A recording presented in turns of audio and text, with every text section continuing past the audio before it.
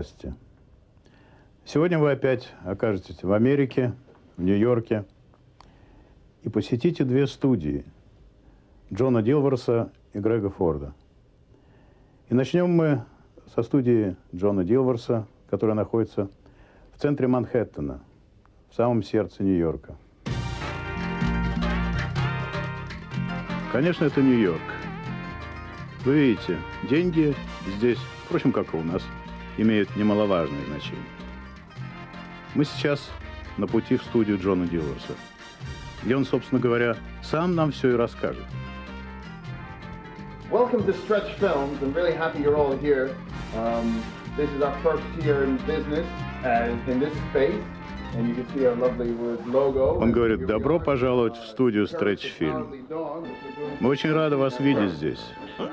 Вы видите этого симпатичного пса. Собака это является логотипом компании Cartoon Network, которая, кстати говоря, финансово поддерживает эту небольшую уютную студию в центре Манхэттена и оплачивает ее счета. Джон с удовольствием показывает свою студию, где он директор и владелец. Вот это рабочие места художников – комнате большие окна. А это, я думаю, автопортрет самого Джона. Но это персонаж, и зовут его Нед. Он сидит, скрестивши свои танцевальные ботинки. И он уже готов сказать «hello, hello». hello. Кому сейчас мы увидим? And there's Ned. And here's, here's Noodles, his, Нед, оказывается, готов сказать э, hello своему приятелю, коту, которого зовут Нудлс.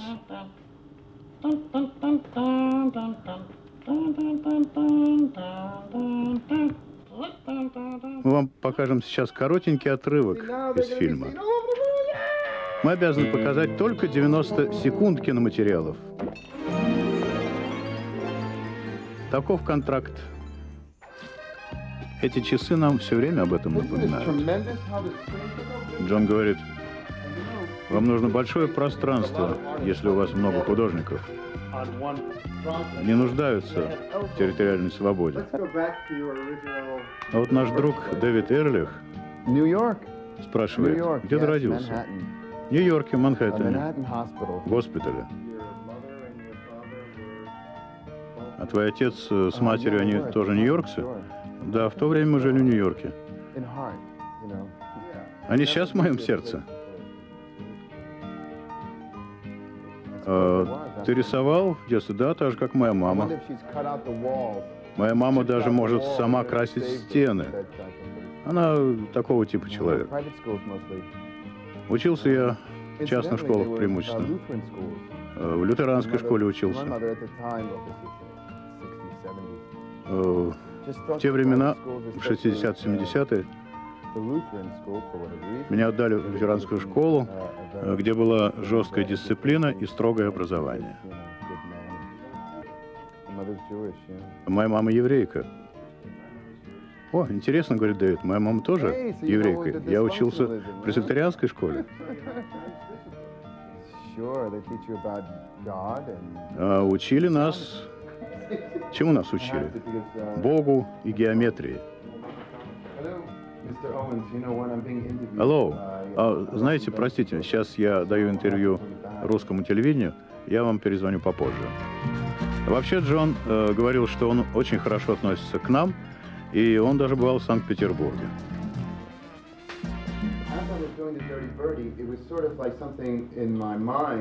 Сейчас Джон рассказывает о фильме «Грязная птичка». Ну, неприличная скорее. Это по-настоящему первый фильм. Он говорит, что в этом фильме такой странный вид юмора. Это синтез туалетного юмора и настоящего искусства. А может быть, это просто обращение к человечеству? Но потом он говорит, что я ничего плохого не вижу в туалетном юморе. А дети его любят. А в Загребе этот фильм получил приз публики, а вообще-то 11 призов на международных фестивалях. А это наши персонажи, говорит Джон. Вернее, небольшая их часть. Это гнусные кошки, все гнусные кошки. И вообще все гнусные. Это Фрики Фред, это добрый доктор. А это нога, большая нога. Она гангстер, она нападает на людей. А это мертвецы.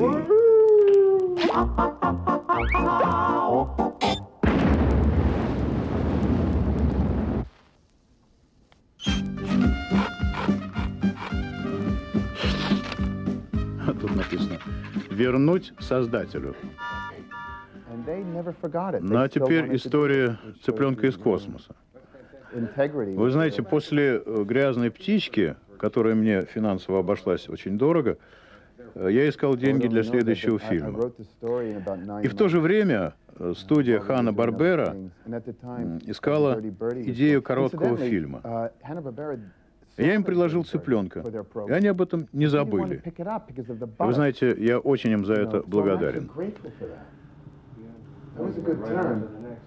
И все хорошо повернулось. А как возник дизайн характеров? Как ты их нарисовал, спрашивает Дэвид. Как ты с ними играл? Ну, в этом смысле это было действительно трудно. Я долго обдумывал это все, э, даже медитировал и все думал, как характеры должны выглядеть. Но в конце концов возник образ такого новаторского фильма, научно-фантастического.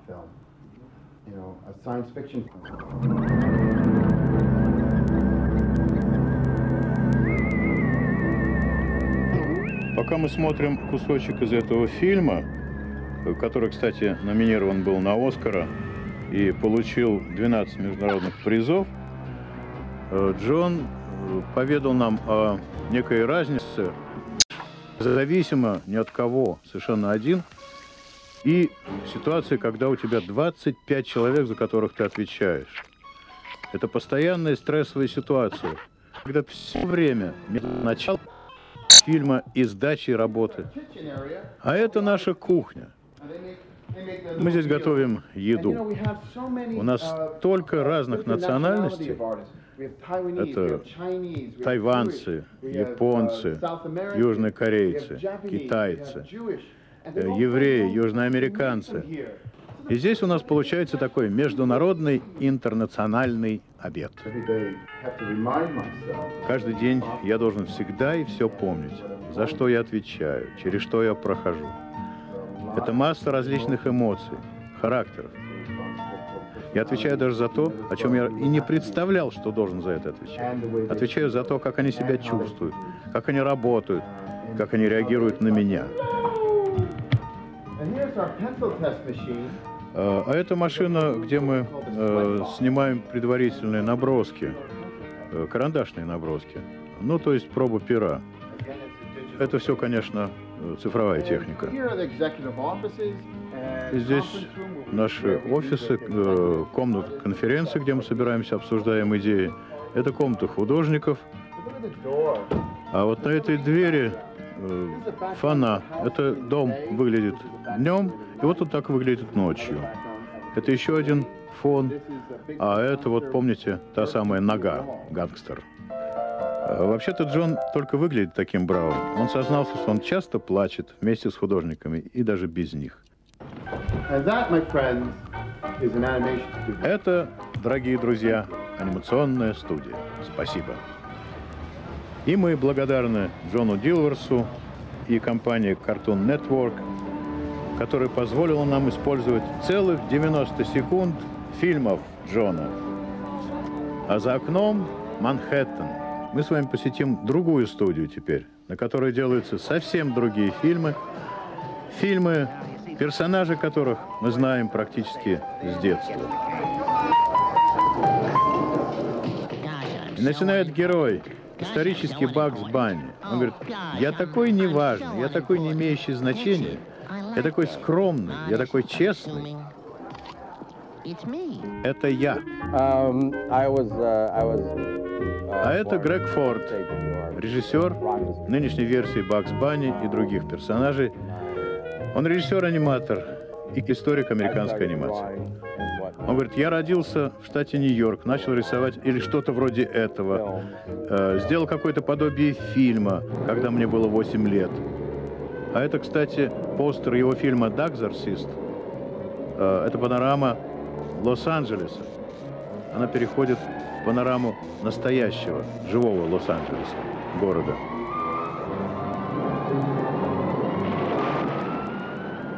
Я рисовал э, не слишком хорошо, но я учился в Колумбийском университете, изучал искусство и киноискусство, и английскую литературу. Я был очень связан с Лос-Анджелесом, и вся моя жизнь прошла между Нью-Йорком и Лос-Анджелесом. И связан до сих пор с двумя этими городами. А вот кадр из его фильма о праздновании 51-го с половиной дня рождения Бакс Банни.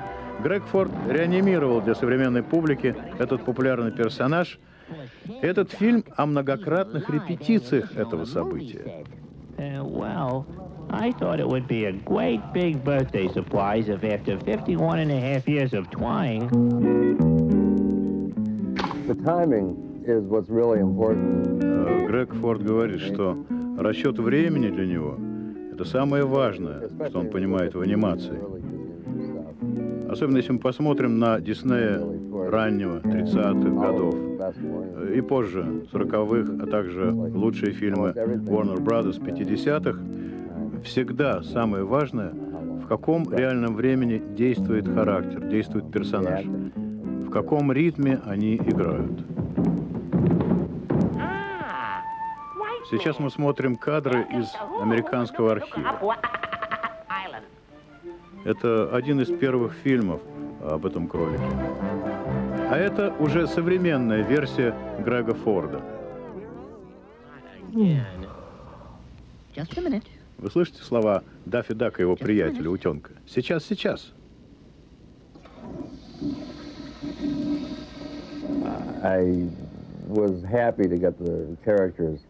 Uh, Я был счастлив нарисовать эти персонажи, то есть вернуть их к жизни, эти классические персонажи. Для меня эти характеры и анимация — это идеал актерской игры, идеал вообще театральной игры, движения, и всего прочего. Идеально, конечно, сделать семиминутный фильм. А, неважно. Игра говорит дальше. Я с огромным уважением отношусь к тому, что делают независимые режиссеры. Но я люблю классическую анимацию. Для меня важно, как персонажи двигаются, как они взаимодействуют друг с другом. А сейчас мы видим древние уже документальные кадры из американского архива, рисунки в альбоме. А это уже карандашные наброски самого Грега Форда. Это то, с чего начинается фильм. Сначала вот так, на бумаге, черно-белые, много-много рисунков. Вначале, конечно, идея, потом маленькие зарисовки, потом раскадровка, а характеры не обязательно рождаются на уровне сценария. Очень часто они находятся спонтанно в этой невероятной быстрой работе, когда рисуешь 24 кадра в секунду, в этой торопливой работе. И режиссер понимает, что аниматор может сам создать характер. Итак, мы в студии Грега, где он работает со своим оператором. Конечно, как и все аниматоры, для денег Грег иногда делает рекламные ролики – он говорит, что в этом ролике за две секунды ему хотелось, чтобы все умерли. Да, и поет Луи Армстронг, и действительно все умирают. Мы посмеялись вместе с ним, так как эта реклама совсем не похоронного бюро, но очень эффектная. Но это раскадровка.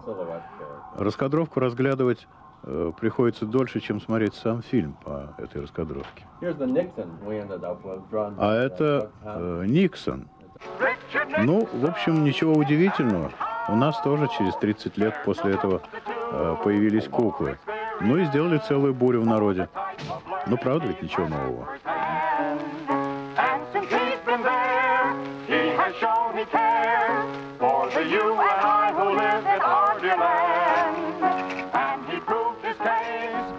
Budget in, uh, in studio films are largely fictional things.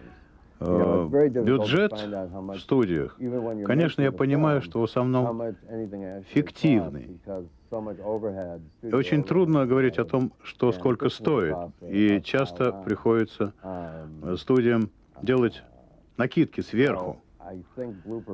Я думаю, что Blooper Bunny, например, стоил, ну, полмиллиона долларов. Но это на бумаге. Это много. А на самом деле, мне кажется, это едва-едва было только 100 тысяч долларов в реальности. Я вспоминаю, когда я делал фильм о Никсоне, то мне весь этот фильм обошелся практически только в 300 долларов. Всего-навсего три сотни долларов. И я удивился, как много студий накручивают сверх того. Мне кажется, что все это фикция. Вообще, бум в анимации создал на больших студиях замечательную атмосферу. Была замечательная жизнь, все любили друг друга э, или ненавидели, что, в общем-то, одно и то же. Бакс Банни, конечно, национальный герой Америки такой же, как Микки Маус. И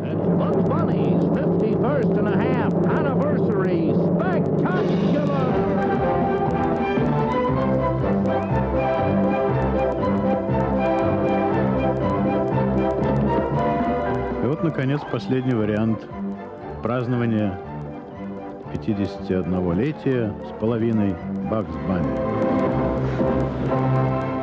И вот Грег, наконец, и сам снял кепку и мы увидели его глаза. Бакс Банни опять говорит, я такой незначительный. А Грег говорит, мои рисунки ужасны. А что касается идеи, то да, я могу. Но я работал с замечательными, настоящими гениями. Это мое ощущение. Марк Каузер — гений. Дон Каннингтон тоже гений. Нэнси Бимен, тоже гений. И как раз мы сейчас видим на экране великолепную анимацию, которую сделала Нэнси Бимен для фильма Грега Форда.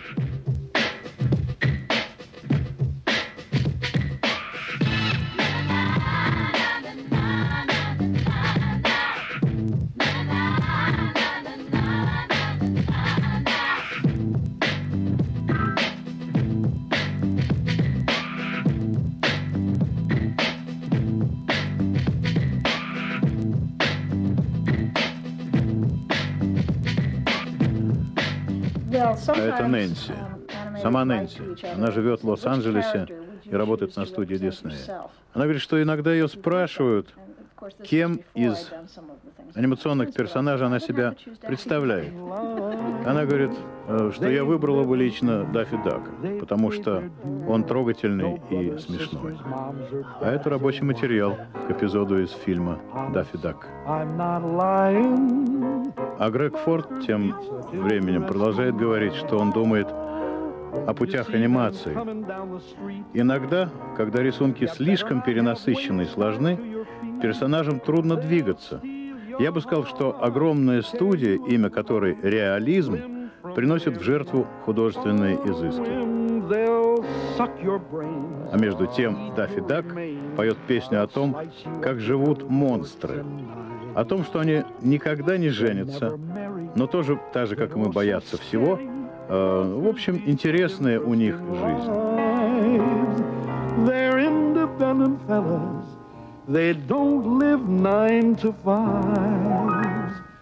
Monsters lead such interesting lives.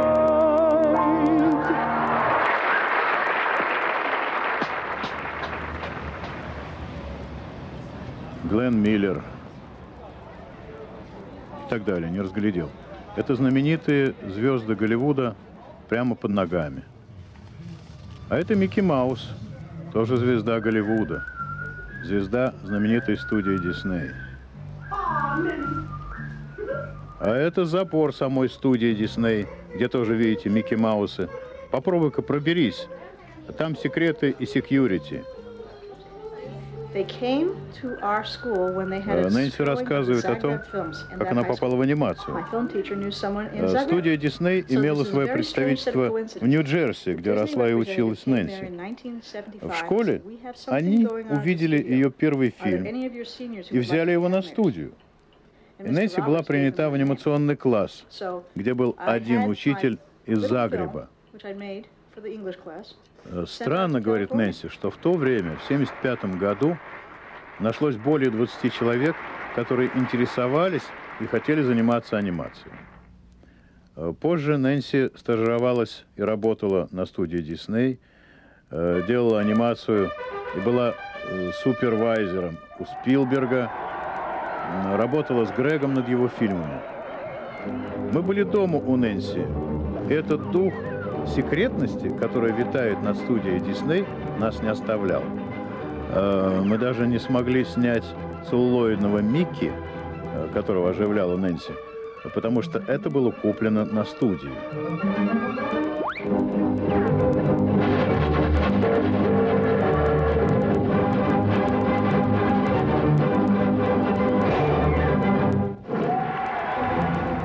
А мы движемся по Лос-Анджелесу дальше – на знаменитую студию Warner Brothers. Э, студию, где работает другой гений-аниматор, э, по словам скромного режиссера Грега Форда, Марк Каузер. И здесь на студии мы увидели э, то, что может быть только после атомной войны. Пустой этаж, который когда-то занимали аниматоры, все абсолютно брошено, даже карандаши, Вся анимация делается в Корее. Марк Каузер говорит, «А для меня это печальная ситуация. Больше всего я люблю двигать персонажа. А сейчас практически у меня нет работы. Вся анимация делается в других странах. А, может мне тоже упаковать вещи и уехать. Это еще один рабочий материал к фильму Грега Форда. Mishka, mushka, screwy bushka. Hit me, mama, with a bottle of hoochka. То, что вы слышали только что, переводить невозможно. Анимация доисторических времен. Я думаю, эти слова могли принадлежать самому Грегу Форду, как историку анимации.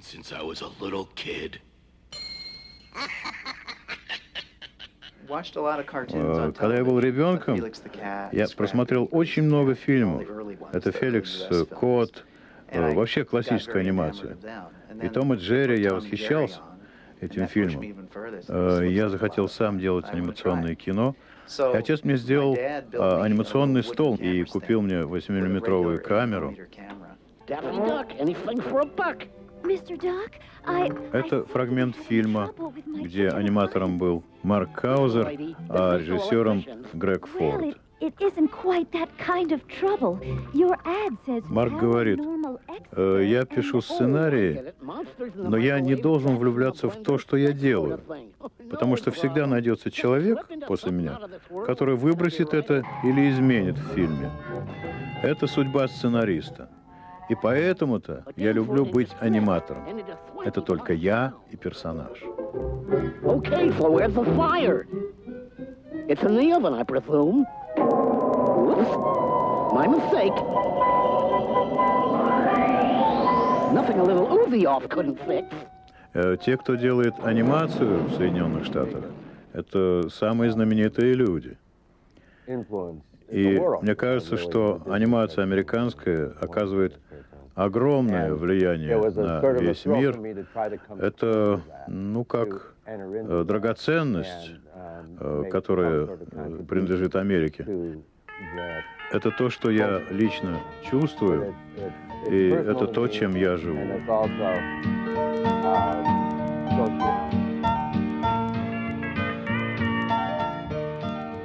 А это и есть та самая знаменитая студия Диснея. Внутри забора.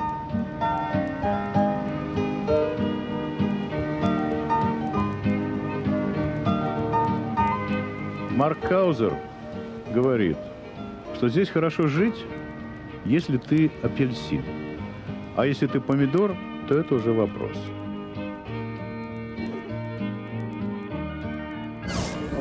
Ну что ж, вы познакомились с замечательными американскими аниматорами Джоном Дилверсом и Грегом Фордом. Но мы собираемся продолжать наше путешествие вместе с вами и перебираемся на другое побережье Америки, в Лос-Анджелес. И будем с вами вместе на студии Класки Чупо –